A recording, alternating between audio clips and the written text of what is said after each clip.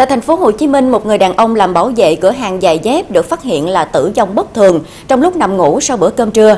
Hiện vụ việc đang được cơ quan công an điều tra làm rõ.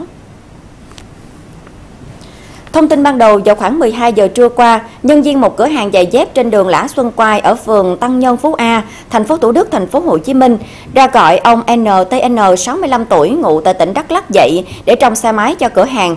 Gọi mãi mà ông N không dậy, nhân viên này đến gần kiểm tra thì phát hiện ông N đã tử vong. Ngay sau đó, công an thành phố Thủ Đức đã đến phong tỏa hiện trường, tiến hành khám nghiệm và điều tra làm rõ vụ việc. Theo nhân viên cửa hàng, ông N ăn cơm trưa vào lúc 11 giờ 30 phút, sau đó nằm trên ghế bố để ngủ trưa thì xảy ra vụ việc.